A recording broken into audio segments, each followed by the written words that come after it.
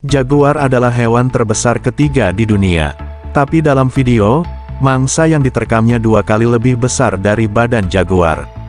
Namun tidak ada perlawanan lebih lanjut dari seekor buaya.